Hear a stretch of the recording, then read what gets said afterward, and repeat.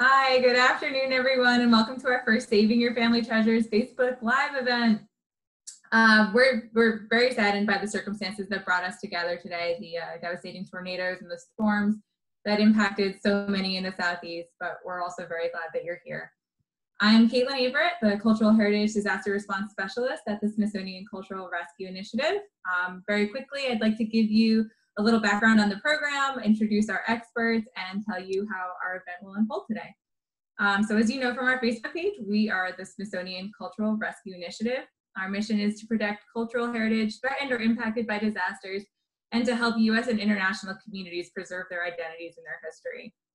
We support response work, put on training events, and conduct meaningful research both domestically and internationally and for more information about what we do, feel free to visit our website. Um, today, a lot of uh, links and resources are going to be shared via the chat box here, so we welcome you to keep an eye on that as we post.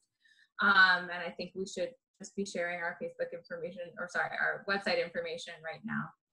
Um, all of our domestic work is coordinated through the Heritage Emergency National Task Force, which we co-chair with FEMA.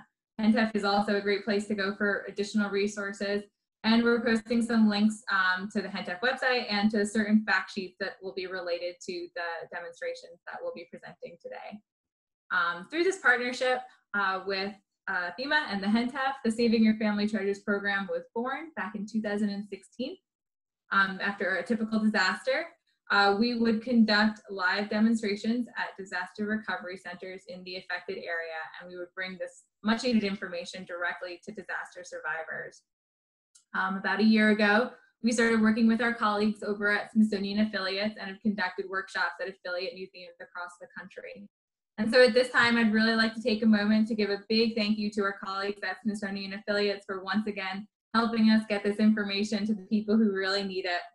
And we'd especially like to thank those affiliate museums, um, Matt Davis at Georgia College Historic Museums and Wayne Coleman at Birmingham Civil Rights Institute, as well as the Southeastern Museums Conference and the state librarians of the affected states, and everyone else who helped uh, share, like, link, and tweet about this event. Um, thank you for helping us reach our viewers today, you guys, the public. So thank you all. Um, in these times of social distancing and the coronavirus, travel and large gatherings are of course prohibited, but we still wanted to reach out to those who were impacted um, by the storms and tornadoes of the past two weeks. So during this presentation, Smithsonian experts will demonstrate easy at-home salvage and stabilization techniques using tools that you can get at your local hardware or grocery store. Um, this is just a caveat though, this is not conservation advice. Um, and if you're at all hesitant about doing these techniques on your own or have a particularly valuable or damaged piece, or if you have any reservations whatsoever, we recommend that you consult a conservator. Um, so basically that's that's kind of the gist of what today is. Um, uh, our experts will be joining us in a moment and they'll be talking about stabilization strategies for four different media, uh, books, photographs, paper, and textiles. Between each demonstration, we'll pause for questions, so feel free to type them in using the chat box. And we'll also save some time at the end to answer additional questions. Um, so on to our experts. Uh, Stacy Bowe is the training program manager at the Smithsonian Cultural Rescue Initiative, where she develops and implements cultural heritage emergency preparedness workshops, trainings, and educational resources in collaboration with many of the Smithsonian Cultural Rescue Initiative's partners. Rebecca Kennedy is the collections care specialist and owner of Curai Collections Care, nearly 15 years of experience and 11 of those at the Smithsonian. Becca has worked in preservation and collections management with a variety of collections in storage and on exhibition. Both Becca and Stacy have been holding Saving Your Family Treasures workshops since the very beginning, and we're very excited to have them with us today. So with that, I'll let Stacy take it away. Thanks. Okay, hi everybody. Um, now before I, uh, before you try out any of the techniques that we're going to show you today, um, you also need to be aware of your own personal safety. Um, when family heirlooms have been exposed to certain hazards or contaminants, you, while you're working with them, you don't want to run the risk of exposing yourself to those uh, contaminants. So um, one of the ways to protect yourselves is by uh, wearing gloves, which I will be doing today. Uh, and you can use uh, a lot of different types of gloves. Again, you can research uh, which gloves might uh, be best for your situation on the CDC website. The other thing that you have to be careful when family heirlooms have been exposed to the elements such as flooding, they run a higher risk of uh, developing mold. And even though we're going to show you today how you can remove some of that mold, you don't want to again run the risk of exposing yourself to that mold while working with your heirlooms. So again, you know, um, consult the CDC website on different masks for different uh, situations that you're working with. And if you are working with your heirlooms and you either discover mold either by smelling it or seeing it, stop what you're doing and first uh, find that correct mask. So remember, personal safety is really key when doing any of these techniques. Thankfully, all of the stuff that we're going to be working with today does not have mold on it. So I'm just gonna be using my gloves while I walk you through uh, some of these techniques. I'm going to start today with some uh, recommendations on how to work with photographs. Uh, everybody has photographs, I feel, in their uh, that are special to them uh, at home. And you know, some of these techniques that we're showing you uh, can help you clean those photographs because a, a lot of the things that we see in a post-disaster situation is, are boxes of photographs that have gotten wet and they've started to stick together. So What's great though is that you can actually wash these photographs and hopefully that will allow them to unstick so you, then you can start to dry them. So I have my uh, two aluminum uh, pans that you can use for this work and you would then put your uh, stuck together photographs into the pan with a little bit of distilled water because again, you want to use um, as clean water as you can find for this work because again, you don't want to introduce more contaminants into your photographs. So you can let your photographs um, soak in the distilled water for an extended period of time. You know, let them let them slowly absorb the water. Work with them a little bit as they um, as they uh, absorb the water, and then you can slowly, very gently, you know, start to peel them apart. But if they're not, um, if they're not peeling apart, you can put them back in the tray, let them be, try again a little bit later. Um, if they have any gunk or anything on them that is not just coming off by the bath alone, you can use just a very soft bristle uh, paintbrush to gently remove some of that surface um, gunk off of the top of the photographs. And then you can also, you know, kind of wash your photographs in multiple baths to slowly draw out all of that additional um, uh, uh, gunk, for lack of a better word. The next thing with photographs, once you get them clean, is that you have to let them air dry. And you don't have to do any special heat. In fact, you shouldn't, you know, use blow dryers or any type of like heater to try and rapidly uh, dry your photographs. That's only going to make them warp even more. Um, a well ventilated room uh, is a perfect place for photographs to dry out. Um, and the other thing with photographs is that you always are, you know, you are running out of space when you um, are trying to dry out a large amount of photographs. One way to create space for drying out photographs is actually you can hook up a clothesline where after your photograph has um, been washed, you can then just clip it to your clothesline and just let it dry. Very simple. Hmm? There we go. The other way um, you can create space for your photographs to dry is by actually utilizing um, fiberglass window screen. And this is very important. This is the window screen that's very um, uh, malleable and is not the metal kind. This is the kind that you want to use when drying out your photographs because if you use the metal kind, you run the risk of developing rust and the last thing you want is to have rust on your drying photographs. But this stuff is great because you can, um, you know, tape it in between two uh, chairs and suddenly you have a beautiful drying hammock for your um, photos. I've actually taken another um, aluminum pan and I've actually uh, cut out a piece of that screening and have uh, secured it with binder clips to the top of my tray. And I and then I can actually place my wet photograph onto the tray, which is great because now air circulation uh, can dry that photograph out uh, regularly rather than it just sitting um, on a table, like on top of a paper towel or something like that. So that's with single photographs.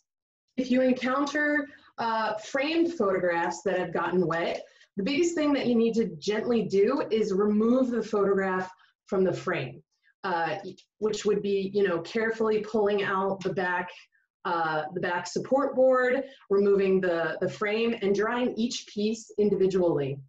The other thing you also have to be aware of is if your photograph has gotten wet, it's probably uh, sticking to the glass. And it really comes down to your situation. Sometimes we've seen photographs, you know, gently slide off of the graph or glass, but sometimes they do actually uh, stick and adhere to the glass.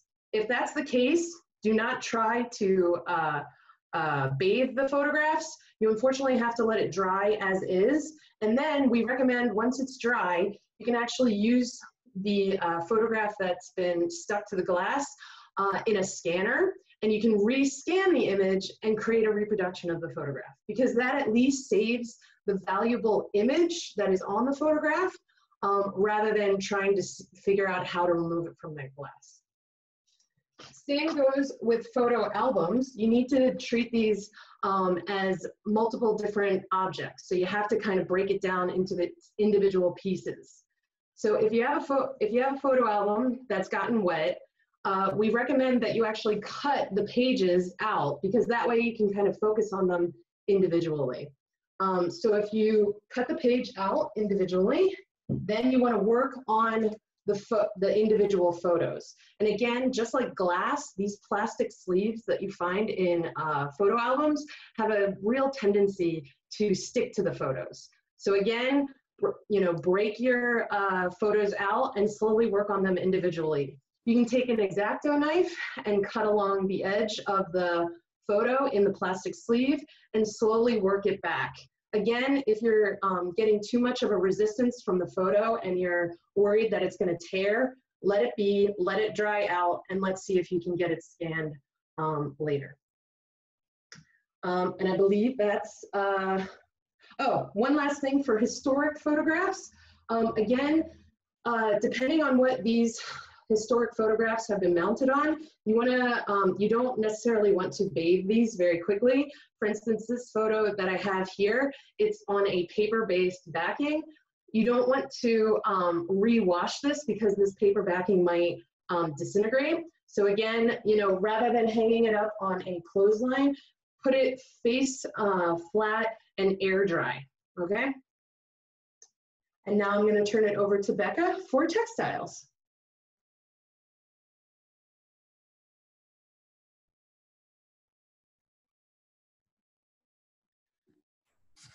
Thanks, Stacy. This is Caitlin again. So we're just going to pause to see if we have any questions right now.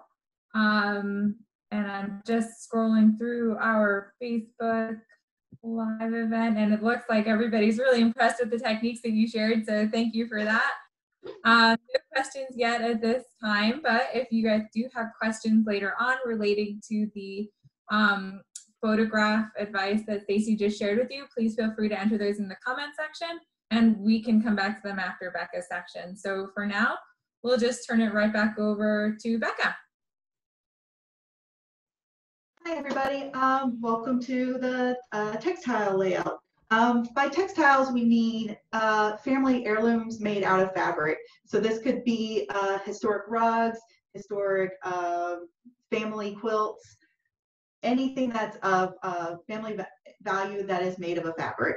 So I'm going to give you a bunch of different techniques because these come in various sizes. So I'm going to start with something small. So we're going to go over a lot of the same techniques that Stacy already discussed, such as washing and handling of such fragile material. Um, fibers that you find in fabrics expand and become weak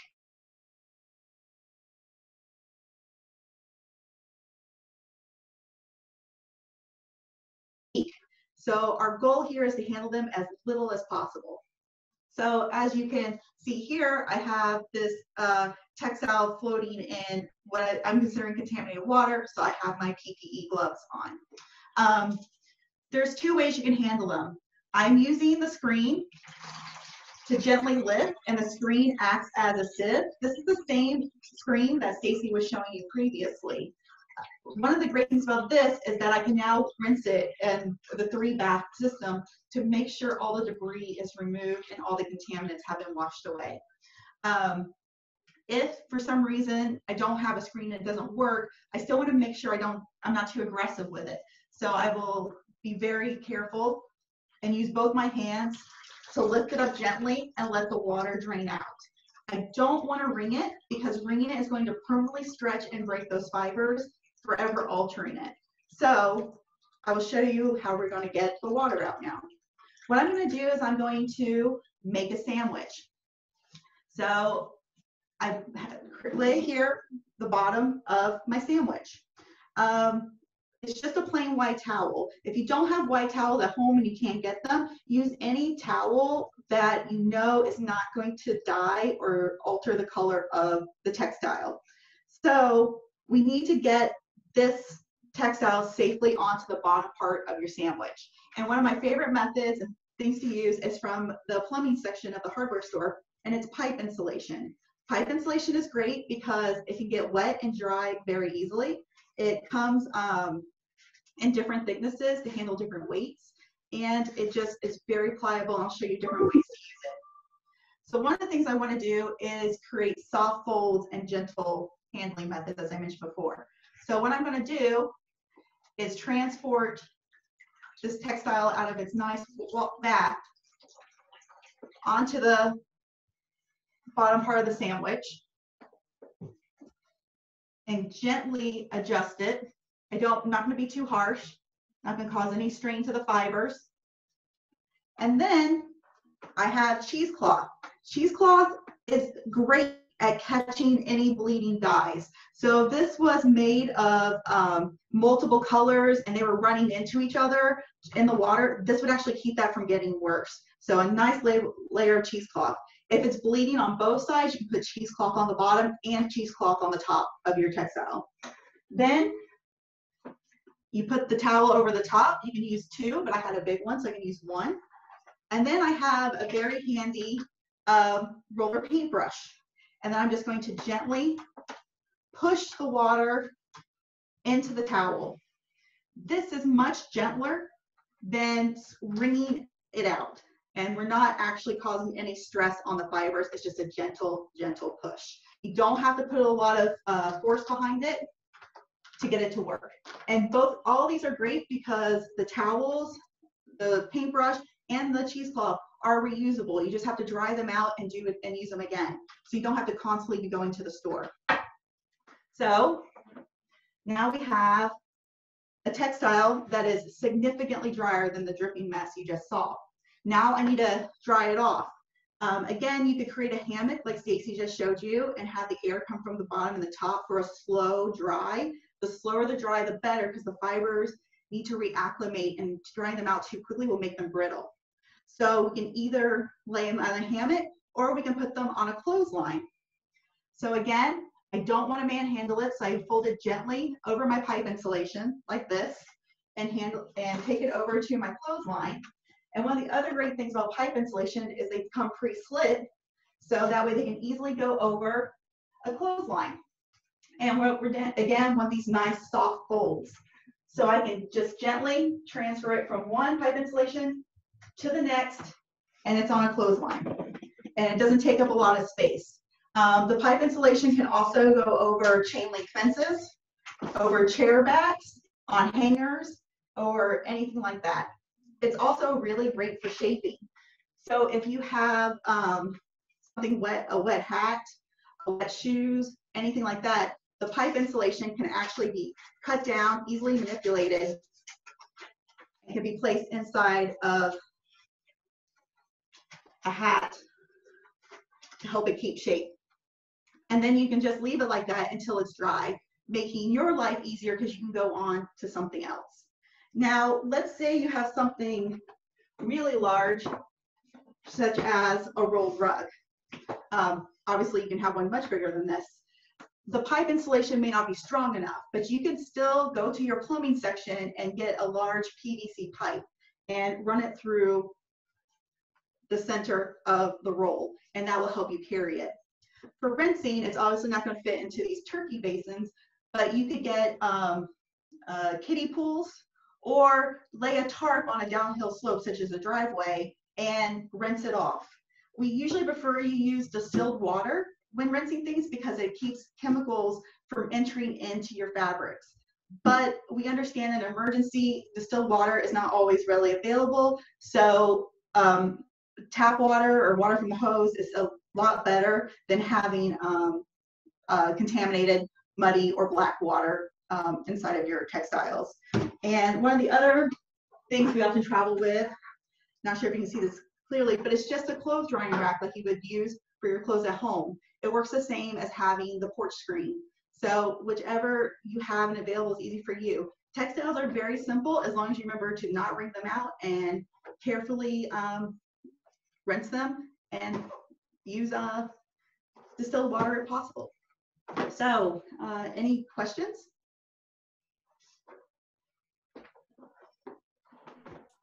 Thanks, Becca. Um, I have a question for you. Can you talk a little bit more about what you might do with a garment such as a wedding dress or um, a, a, uniform from military service?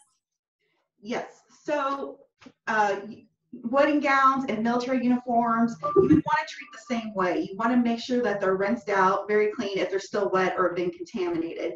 But again, the process and the big concern here is to make sure they dry quickly and appropriately without growing mold or becoming musty. And this again is where I love pipe insulation. Um, you can reshape the dresses and the uniforms using pipe insulation. I often would shove these into sleeves or leg holes, or you can make little loops with them using twill or wire inside of these to make the hoops on the dresses to make sure you get good airflow. And you can always have a fan circulating in the room, but not directly on the textiles. But the same thing, do a gentle rinse and then do a slow dry and use the tools around you. I mean, pipe insulation is about $4 for six feet and you, and you can chop it up into any size you need to do the stuffing out. And because it's meant to quickly dry and get wet and quickly dry and get wet, you can keep reusing it without having to go out and get more. So just when it gets soaking wet, put it out in the sun for you know an hour, and then bring it back in and reshape again. And you'll eventually get it to where it's it's as good as new. Not as good as new, salvageable. That's great advice. Thanks, Becca. I'm not seeing any questions come up through our Facebook chat right now, um, but we can post it or bump back over to Stacy.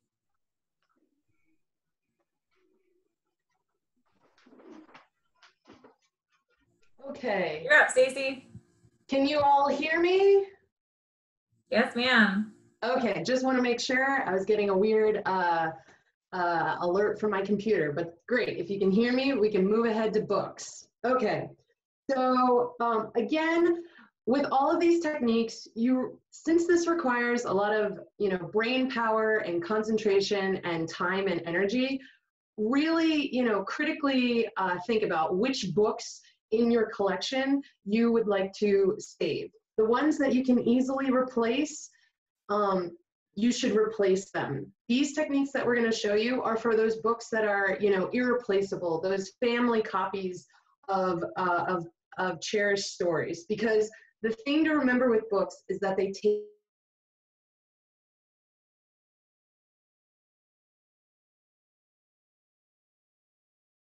are. So, and it just takes an extreme amount of time for them to really release all of that water. So again, you know, take that into consideration when you're trying these techniques out and remember that patience is key.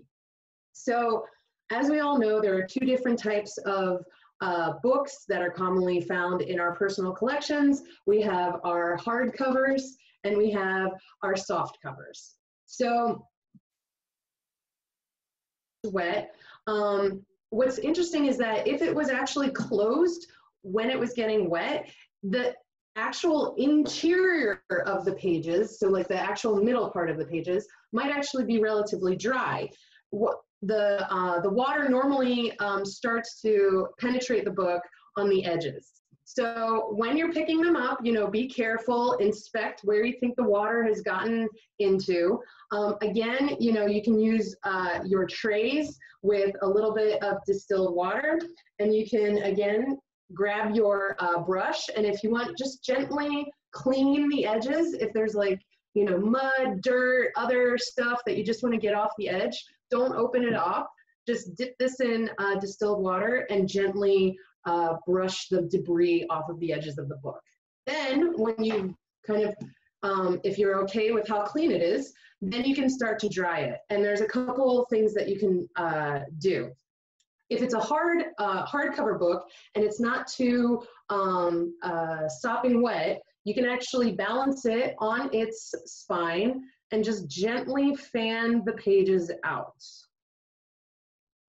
And again, just like all of the other drying methods that we've shown you, you don't have to uh, uh, increase the heat or put a fan directly on it. Again, that's gonna make the, the pages warp really quickly. Just a well uh, air circulating uh, room, let that dry out and, you know, check on it to make sure and monitor, you know, if it's really releasing uh, that uh, water.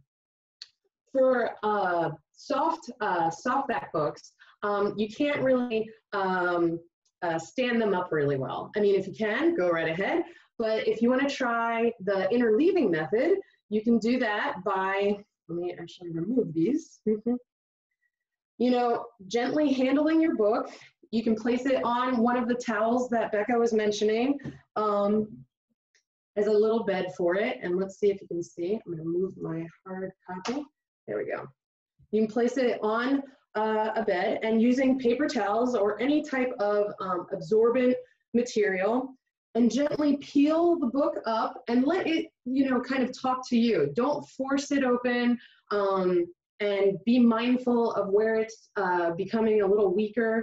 And you can actually feed uh, paper towels and to kind of maximize your paper towels, you can actually cut these to the actual size of the book so you can get a little bit more out of your paper towels and just gently interleave them in between the pages of the book. You don't want to stuff the book too much because um, you might then cause more pressure on the binding of the book. Just let it, you know, just fill it up just to a nice amount of pressure and then again, slowly let it dry out. You don't have to put any pressure, you don't have to squeeze. Those uh, paper towels will draw out the water and then you can actually go back and rotate the paper towels in. So you're gently taking the water out of the book, which will allow the fibers to um, recover uh, a, a little bit.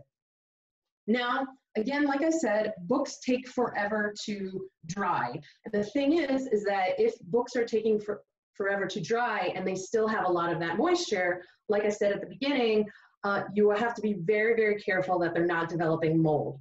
Books or mold loves to eat books. So if you're in a little bit of a situation where you don't have time to really uh, uh, dry your books out, but you still want to uh, buy some time, you can actually freeze books. And freezing the books doesn't necessarily uh, negate the mold uh, risk, but it just pauses it for a second. So if you have a book that's still a little wet and you want to buy some time and uh, by freezing it, you can buy freezer paper at your local supermarket. And this is, uh, you have to make sure that you get freezer paper. This is the stuff that butchers wrap meat in um, because this stuff is made to go into the freezer. You don't want parchment paper. You don't want wax paper. You want freezer paper. It's very, uh, very key. And then once you have your freezer paper, you wrap your book like you would uh, a present. You want to be very careful and precise while wrapping it, you know, clean lines um, and making sure that that paper has a very nice, um, uh, has engulfed the book, you know, very uh, precisely. The tape that you want to use, uh, we recommend using what's called exterior tape because again, this is a little bit of a more durable tape um, it's meant to be used outside in the elements. So that means that it's actually ready to be put into a freezer if you use other kinds of tape that aren't, you know, meant to be put into a freezer, they actually might peel and not become sticky. And then if it actually um, uh, loses its stickiness and, you know, un, um, peels away from your paper, that opens up to air entering your book, and then you get book freezer burn, which is definitely something we want to avoid. So um, you can use either exterior tape. There is actually freezer tape that is meant to close, you know, freezer paper. So again, definitely make sure that you're using the right materials when you are um, wrapping your books up. So you can put these in your freezer and you can leave them there for, for an extended period of time, you know, several weeks, you know, and that will give you time to take care of all of the other things that we're sure you are, you know, dealing with. If you have had your house um, get hit by a disaster, these can just hang out in your freezer. And then once you are ready to properly dry them out, you can take them out of the freezer, slowly unwrap them, and put them in that well-ventilated room and get them to dry again. Um, and that way, you know, they haven't been growing mold uh, for the entire time uh, in between. So that's my uh, presentation about books. Any questions?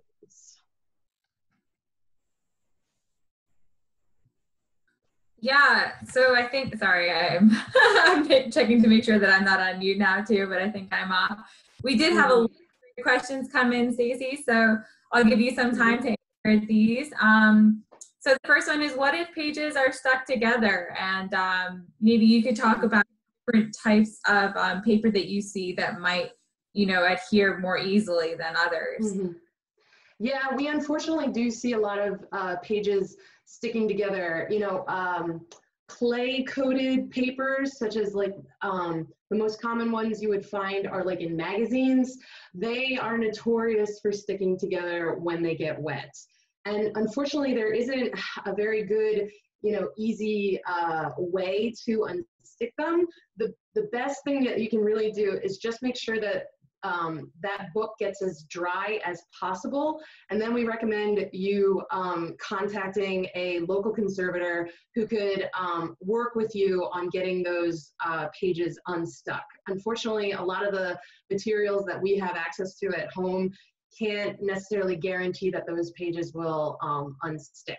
But the biggest thing I would say is just make sure that the book is completely dry. And then you can, you know, work with someone to get those pages unstuck. Great, thanks, Stacy. We also had asked, what would we do if you had fire or smoke damage? And I'm just going to acknowledge that question and say that we should come back to that at the end because I think that both Becca and Stacy can talk about um, fire and smoke damage for all these different kinds of media. But we'll we'll come back to that one at the end of the discussion because that's a really great point. Um, mm-hmm. So I have another question. What about using freezer bags? Ah, freezer bags. That's that's a good idea. The thing is, is that um, freezer bags can't um, provide the nice like direct covering that paper can because you know unless um, you know because you can't uh, uh, wrap it in a freezer bag right? Um, and the last thing you want to do is to have air pockets around your book because that's where freezer burn um, begins to happen. So the paper is really your best uh, your best bet. Great. Thank you stacy. And then our last question that we'll take for this section are, um, or is, can you write on the freezer paper, I assume, um, the name of the book? So basically, can you put, um, can you inscribe on the paper um, any notes or annotations that you need when you freeze it? Oh, definitely. And that's actually, I recommend that um, because then that communicates to you. Um, and if you're uh, as scatterbrained as I am, it might help you in the future in identifying, you know, which books actually ended up in your freezer. Great. Well, thank you, Stacey. We're going to pop over to Becca. Uh, we've noted a lot of the other questions that have come through. So again, we'll come back to these guys at the end. Um, but for now, we're going to bop over to Becca. Okay, great. Um, I'm going to talk to you all briefly about paper because um, we have a lot of documents and a lot of uh, letters that mean a lot to us. So we wanted to make sure we cover that as well. Uh, since we're just leaving Stacy talking about freezing, I thought I'd kind of jump into that topic um, first. If, if you come across a pile of papers that are soaking wet and you just really cannot handle separating that out, drying them one by one, and you just need to freeze them, that is okay. You can actually take that entire pile of paper, wrap them in freezer paper, and put them in your freezer, and of course label them. Um, it, the same technique Stacy showed you with the book, and you can put the folder, everything into the freezer, um, and just have a plan for how you're going to deal with it when they come out of the freezer, which are all the techniques we're going to show you that we haven't shown you. I'm going to continue to show you, but it is okay to freeze paper, um, and even in a big stack. It's just to buy you time so you all can deal with whatever you need to deal with now and immediately. But if you want to, if you have loose paper lying around and you want to um, save it, I'm going to show you those techniques now. As you probably have all seen, when a piece of paper gets really wet and you try to pick it up, it just immediately falls apart in your hands. So here again, we rely heavily on the porch screen, the very soft porch screen. It just really is easy to find and works so well in this situation. Even pulling the paper out of the contaminated water, we scoop it up with the porch screen and then we set up our rinsing stations. Um, as I mentioned before, we usually do three rinses, really dirty water to less dirty water because we're trying to get the contaminants off. And having it on the porch screen the minute it comes out of the dirty water, we can literally take it from one area to the next and it never has to leave the porch screen. And therefore we really minimize the handling. And we always, again, and keep reiterating this, rinse in distilled water because we really want to make sure we're not adding any chemicals to the paper because um, those fibers can actually grow what we call foxing, which are those little brown spots that you sometimes see on paper that looks like mold, but it's not. It's called foxing. Um, and that's usually caused by some sort of chemical reaction in the paper. It's not a bad thing, but it's unsightly. Um, so that's what we're trying to avoid by using distilled water.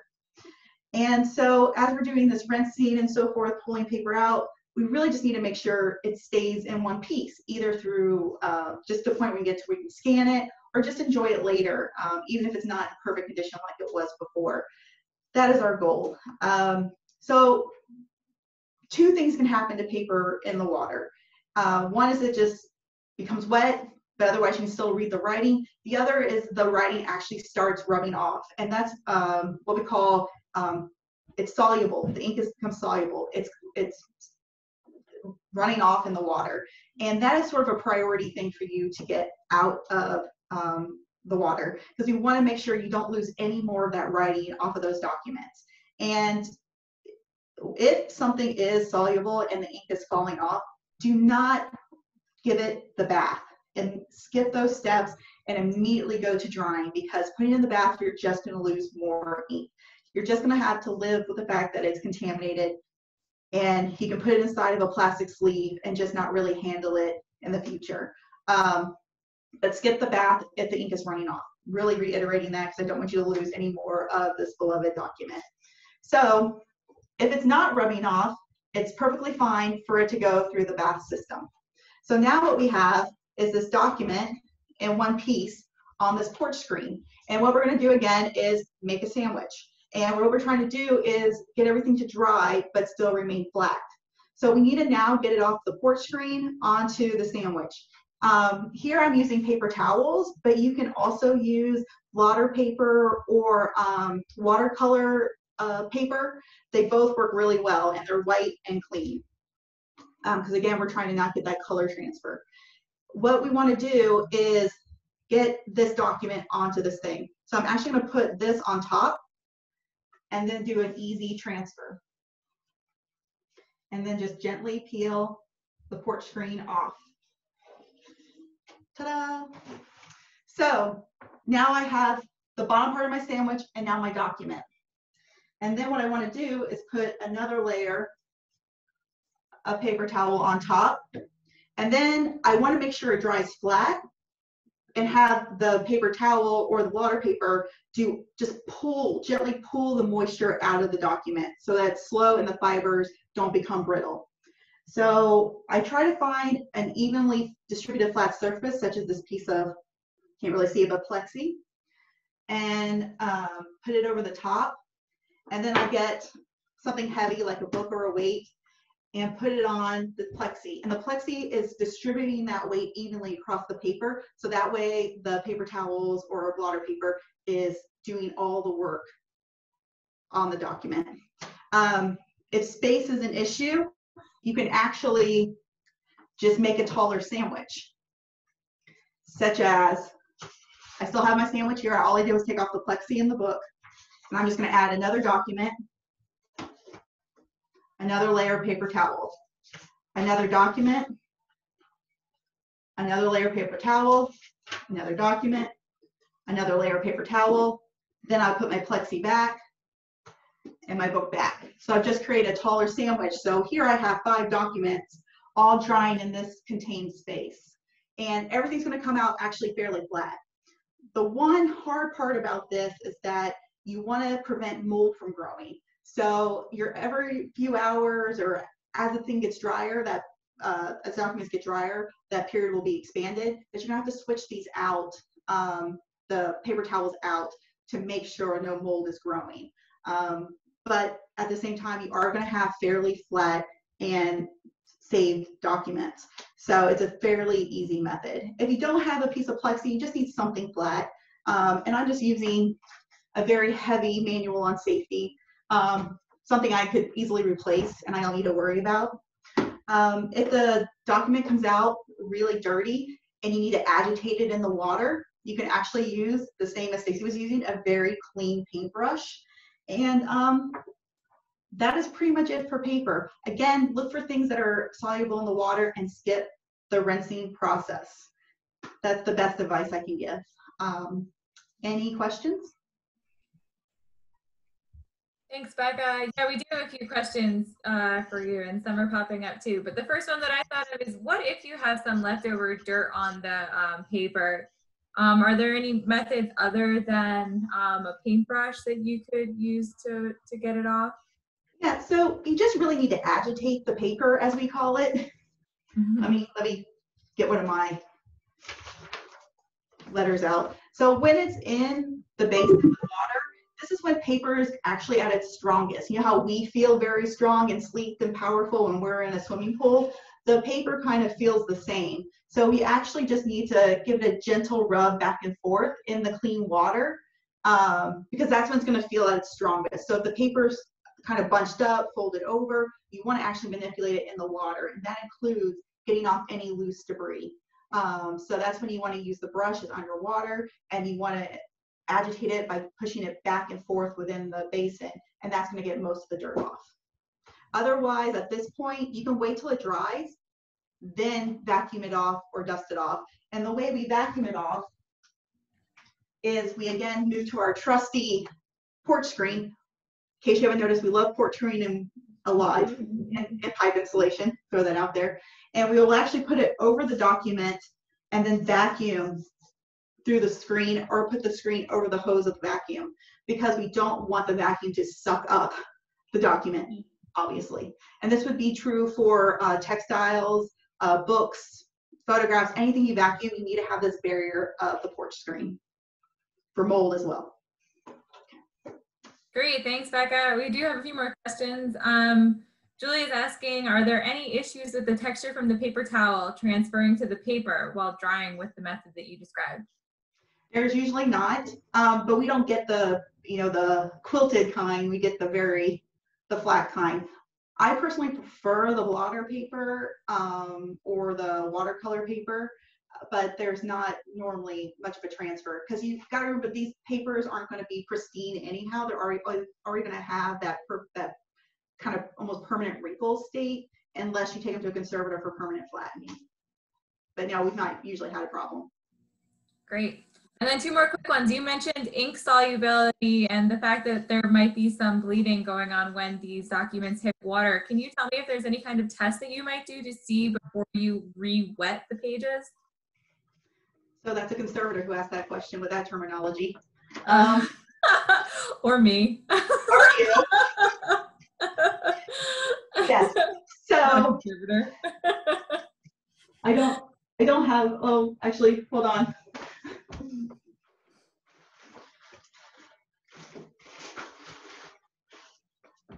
Okay, I can't find it in my kit easily, but yes, there is a water solubility test you can run. And one of the things we like to do is if the document is out and you really want to know is we'll actually just grab a Q-tip or a cotton swab and we'll just dab it in the corner of one type of ink and see if it bleeds onto the Q-tip. That's it. You just pick an inconspicuous spot. If you have like um like a diploma where two or three people have signed it, you want to check the corner of each of those inks because they probably all signed with a different pen. Um, so little things like that. So there's four or five different inks on a document. You want to do a small corner of each of them, and you'll notice on the end of your Q-tip whether there whether if there's any ink at all that is water soluble, and you need to avoid reintroducing it to water. Great. Thank you so much, Becca. That's wonderful. No problem. Uh, last one, just real fast about this topic is we were wondering if there are any alternatives that you could use to the plexiglass. Sometimes that might not be readily available. Yeah, so anything that's flat. I mean, I've used um, just specifically because I don't have a weight or a weight or plexiglass. I've used just a one very large book. Cookbooks are great because they're usually really large and really heavy, so they'll cover the whole weight. What we're really looking for is weight distribution. So if you have um, something just large, that will cover the whole space. So it could be something pl uh, plastic, it could be something metal, um, could be pretty much anything, but something hard and covers the whole surface. Um, trying to think, looking around my home of anything else could be used, but a piece of wood, a piece of plywood, just as long as it's large and flat and covers the whole surface, and a weight could be added to it to help distribute that weight. Fantastic. Thank you so much, Becca. Okay, so we have a few questions here that uh, we can throw out that are a little bit more general, and um, Becca or Stacy, feel free to um, to you know I don't know do rock paper scissors for whoever wants to answer them or something. um, but the first one is, um, can one of you guys talk a little bit more about the general environment um, for drying that you would recommend? Uh, what kind of um, you know, I guess sort of like yeah, the general drying environment that you would recommend. Mm. I I can take that one. the um, the key thing is air circulation because believe it or not, that actually will decrease your chances of growing mold the most because mold needs uh, time to you know find find a place to uh, stick to. So if you have a nice gentle breeze in a room, that actually is going to prevent a lot of that mold from uh, possibly growing.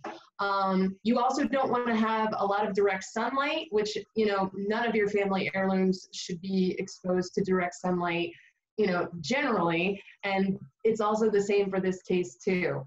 Um, if you do have to move some of your stuff outside because you know you just can't keep it inside, it's okay to bring it outside, but just make sure that you've got like a covering or under an awning or even one of those like pop-up tents. And you know, as long as there's a gentle breeze, you know, allowing your heirlooms to dry out, they should be they should be pretty fine. Mm-hmm. Fantastic, Stacey. Um, another really good question that we had that we were hoping we get answers for is um, what would you suggest you do if you have fire or smoke damage as well? And I guess this could apply to any of the different um, items that you guys discussed today. So once you have smoke or fire damage, the one thing that really changes is you don't rinse anything. Um, we kind of skip that phase because what what happens when you rinse is you're opening the pores of that artifact or that heirloom and once those pores are open all that soot and all that smoke is going to go deeper into the uh, textile or into the paper and we and that's exactly the opposite of what we want. We want that soot and smoke damage to come away. Um, so the first thing you do is just skip the rinsing. Um, there's some good resources online of how to remove the odor from soot um, and smoke but one of the things we tend to use for actually removing it is cosmetic sponges are actually really good, the latex-based cosmetic sponges, um, and just do a gentle wipe away. Um, and then again, we also use the porch screen to go over them and to the vacuum it up. But just a reminder, because we'd be remiss if we didn't mention this, but um, smoke and soot is carcinogenic. And so we really want you to make sure you're wearing the proper um, uh, protection, uh, whether it's an N95 or a respirator or whatever the CDC or OSHA recommends when working around uh, smoke and soot and fire damage. But yeah, skip the rinsing cycle when responding. It's, it seems like you want to wash it away, but it's actually the worst thing you can do. Vacuum it or wash or wipe it off with a cosmetic sponge or a soot sponge, which is available at hardware stores. Great, thanks, Becca. I think that's really helpful. Um, one of the last questions that we had here is pretty specific, and I think Stacy that this is um, this is going to be a toss-up between your photos or photographs presentation and Becca your paper uh, presentation. Um, so they've got antique calling cards that are glued to paper and stuck inside a 50-year-old photo album. Um, how would you recommend rescuing these? Sorry, could you say that again, Caitlin? What, yeah, sure. Uh-huh. Yep, they're antique calling cards that are glued to paper and stuck inside a 50 year old photo album. How can I rescue these? Well, one, that sounds like a really cool heirloom. so I'm glad you're taking the time to uh, uh, try to salvage it. Um, see, this is when I wish Becca and I were both in the same room. Um, well, can I jump in here really quick and um, say that from my, you know, my uh, my two cents would just be the first thing that I would recommend doing would certainly be that if you have a scanner or um, a photograph taker of any kind, um, to try to digitize this object um, before you do any of the techniques that um, Stacy or Rebecca might recommend. Because if anything were to happen to this, I think that just having you know, um, a digital copy might be some of the most important things that you could do just right off the bat. And from there, I'll let Stacy and Becca go. no, I, I completely agree uh, with what Caitlin said because, again, you know, um, you really have to critically look at your heirlooms. What is it that's valuable about them? Is it the, the material or the information that they contain? So, like Caitlin said, you know, if you want to preserve the archival information um, on those calling cards, scanning might be the best way to go um, uh, as your first step before trying any of these um, things. If the materials are important for you, I guess, um, and I'll, I definitely want to hear Becca's um, input on this as well. But again, remember that this is a you know a complex uh, album, so it would make it easier um, if you're able to break it apart. So if the calling cards uh, have come unstuck, that's fine, you know, and let them individually dry. Um, and again, depending on, I guess, the, the makeup of the photo album, if you are able to separate the pages out, um, I would do so uh, because again, water, um, if, if, if it's been, uh, if it's gotten wet, water is really, it's really sneaky and it loves to hang out in places that um, you don't think it is, and that's where the mold can grow. So if you can just break that album apart as much as you can and let it completely dry, um, I would say that's your best bet.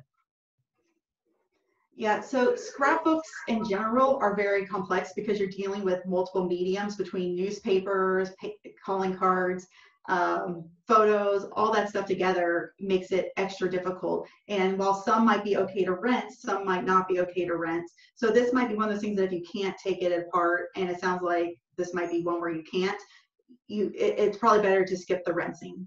And altogether, um, just take something like the freezer paper, or if you want to freeze it, line each page with freezer paper and then fold it up uh, Stacey was showing you with the books and stick it in the freezer. And if not, put um, paper towel or blotter paper between each page to keep to start drawing out the moisture slowly. It's one of those things where when you have mixed mediums such as you know uh, silk on a metal um, pin, you have metal that's really stable, silk that's really not. You always have to take care of what's the most fragile thing in, of those mediums that are mixed together. So you have to look through there and of all the things that we discussed, what is the most fragile? And that's the one you have to kind of cater to when you can't separate things.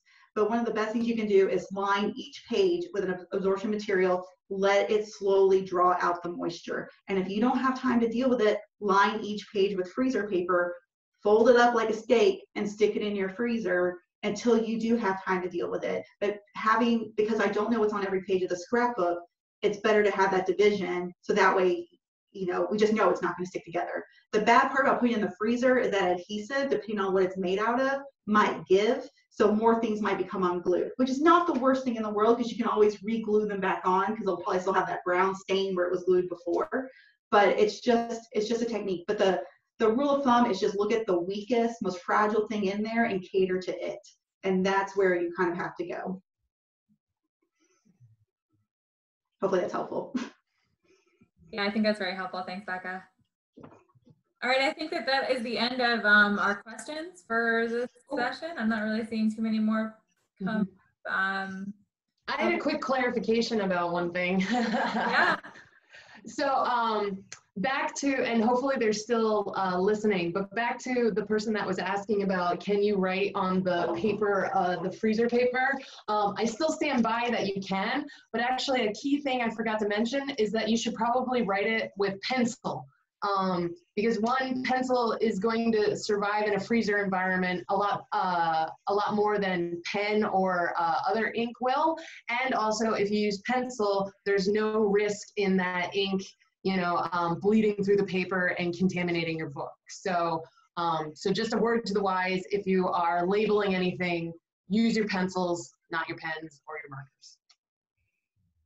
great point, Stacy. Thanks for clarifying. That's wonderful. Okay, I think we're going to wrap up our presentation today. So I just want to thank everybody for your time and for um, tuning in with us. We hope that you found some of this information helpful. Um, keep an eye out on our Facebook account in the coming weeks. Um, we're going to be posting uh, a lot of this was about uh, response and how best to um, help salvage and stabilize your heirlooms after a disaster. But we're also going to be posting about preparedness in the coming weeks. So just some simple steps that you can take uh, to make sure that you're protecting your heirlooms uh, before disaster strikes. Um, and if you'd like to engage with us more in the future, feel free to reach out to us on any of our social media platforms. Uh, you can drop a line in this chat box here uh, or send us a quick message or email. Um, we did post some links throughout uh, the, the presentation, so feel free to take a look at those. And of course, if you have any other ones that you uh, could think of that you uh, might want to add, feel free to. Um, and yeah, thank you. Big thank you to Stacy and to Becca for your wonderful presentations today. You guys did awesome. Um, please uh, let us know if you have anything else that uh, you'd like to hear from us and we can uh, get back to you uh, individually. So thank you again, everyone, for your time. Um, take care, especially in these circumstances in these days. Um, and uh, we'll be around again soon. Thanks, everyone.